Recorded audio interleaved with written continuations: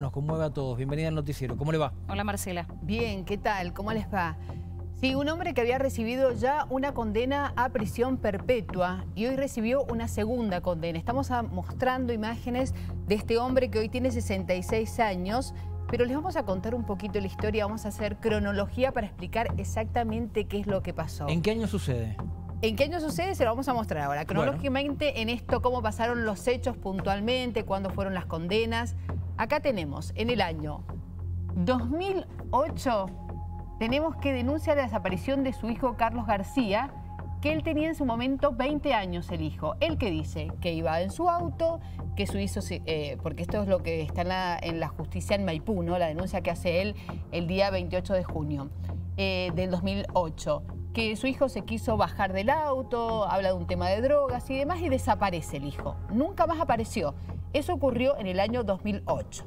En el año 2011 encuentran restos óseos que muchos años después, ahora vamos a contar cuándo, eh, eh, se dan cuenta la policía científica que son compatibles con el hijo, con Carlos García. Pero en realidad lo que pasó es que en la valle encuentran cerca de una ruta restos óseos nada más.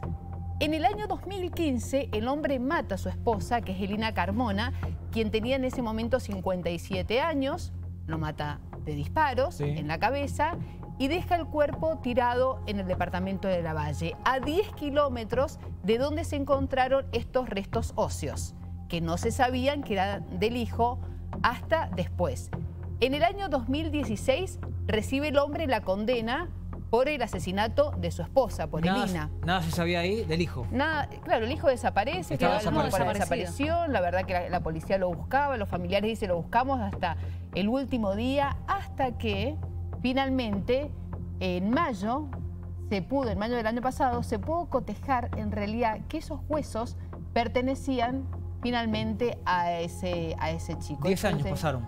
Claro, pasó muchísimo. Y ustedes dicen, ¿por qué? ¿Por qué? Porque no existía el laboratorio de huellas genéticas en ese momento. Claro. en aquel momento en 2011, cuando encuentran esos restos socios, nadie sabía de quién eran. Después, por eso nosotros ahora ponemos pertenecientes a su hijo. Eso lo sabemos ahora, a partir justamente de, del cotejo, Marcela, pero en aquel momento quedaron como Eran restos, la Eran restos, como tantas veces cuando encuentran y por ahí no se sabe de dónde son. ¿Qué es lo que pasó? Que eh, se inaugura finalmente el laboratorio de huellas genéticas aquí en la provincia de Mendoza, hace no tanto tiempo. Cuando matan a la mujer, ingresan todo lo que tiene que ver con, con, la genética, digamos, con sus huellas al laboratorio aquí en la provincia de Mendoza y luego cuando ingresan estos restos óseos finalmente se los puede cotejar. ¿Se sabe por qué mata en algún momento a su mujer? No se sabe, nadie lo sabe. No lo sabe el fiscal ni tampoco los familiares. Si les parece, escuchamos al fiscal. Juicio abreviado entonces recibió la segunda condena a prisión perpetua. Primero por la esposa y ahora por el hijo.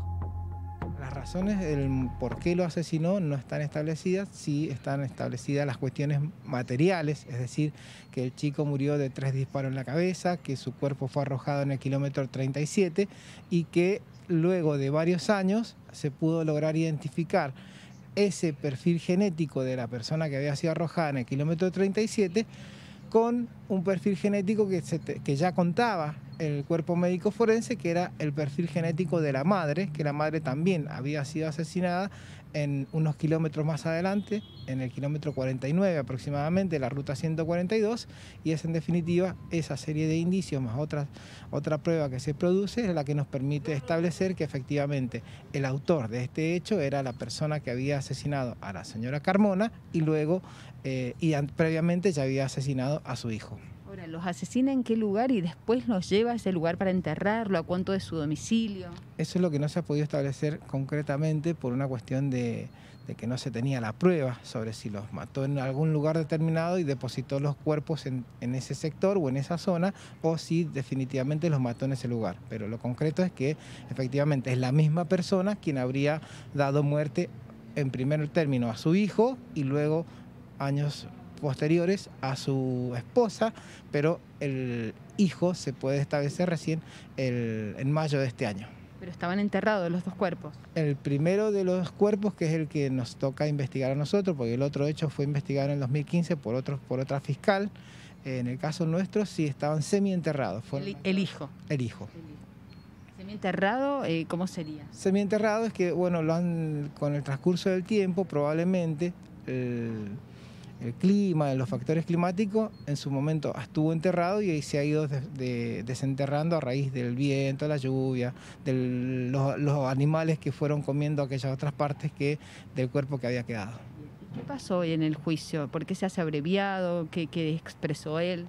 Bien, en el juicio, en el caso, hoy se planteó un acuerdo ante el juez de garantías, el acuerdo que había llegado la fiscalía con el abogado defensor, es decir, resolver esta causa de manera simplificada mediante un juicio abreviado, donde el señor reconoció su responsabilidad en estos hechos y a raíz de estos hechos fue condenado a la pena única que establece ese tipo penal, es decir, a la pena de prisión perpetua. Ahí decía el fiscal, mayo de este año es cuando se hace el, el cotejo, finalmente se logra, porque ustedes saben que se inaugura el laboratorio, pero de a poco, Sí. digamos, se fueron incorporando todo el material genético. Y ahí se descubre que en realidad lo, esto que tenía que ver con el material genético de, su, de los restos óseos del hijo coinciden con los de la mujer. Increíble que haya pasado. Increíble lo que pasó.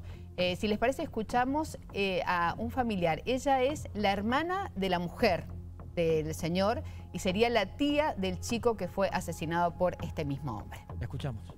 ¿Qué mata a tu hermana? ¿Por qué mata al hijo que tenía 20 años? Es que eso es un misterio para todos, porque él era un tipo súper tranquilo, súper bueno. Todavía no podemos entender. Mi sobrino era un poco rebelde, pero no era motivo. ¿Ustedes creen que la llevó hasta el lugar donde había enterrado al hijo y ahí mata a la mujer? Sí, ahí la mata ella, la mata de cuatro balazos, acá atrás en la cabeza. Y mi sobrino tiene tres balazos acá en la cabeza, o sea, con la misma arma. Las mata a los dos con la misma arma. ¿Cómo era su personalidad? Era un tipo tranquilo, hogareño, familiero, bueno.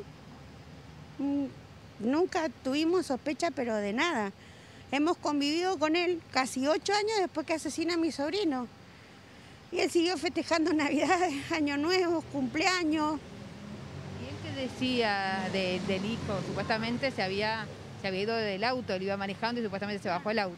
Claro, que él iba manejando, el Carlito pegó el volantazo y se baja en el 25 de mayo, allá en, en Rodeo del Medio. Entonces, esa misma, eso fue al, al mediodía. Como a las 3 de la tarde mi hermana me llama y me dice que me venga a la casa de ella porque el Carlito se había escapado, que lo fuéramos a buscar. Bueno, y lo hemos estado buscando hasta hace que nos avisaron que habían encontrado el cuerpo. O sea, que gracias al, al cotejo de ADN se comprueba que los restos encontrados en el 2011 eh, eran los de mi sobrino. Encuentran restos, eh, huesos encuentran, y ahí cómo se hace el cotejo. Por el, por el ADN de mi hermana. Porque em, como él no tenía antecedentes, y mi hermana tampoco, y nadie de la familia, esos restos quedaron ahí.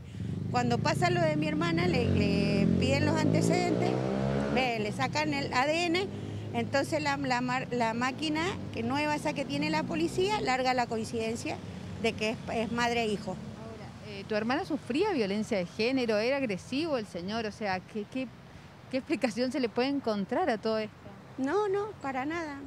Quiero decir que, bueno, que, eh, que le agradezco enormemente al señor Torres y en especial al señor Bergamín, que él me prometió, el ayudante del señor Torres, de la Fiscalía, que él me prometió que se iba a resolver todo esto y que yo creo mucho en la justicia, porque la justicia llegó, para nosotros llegó, y bueno, es un capítulo que vamos a cerrar doloroso, pero se le puede cerrar que sea con la sepultura o que lo podamos sepultar junto con su mamá, que es lo que ella quería encontrar.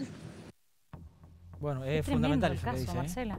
Y la gran pregunta, recién estábamos hablando con ustedes que dicen, bueno, ¿por qué lo mató? La verdad que nada se sabe, en la investigación no hay nada en la causa.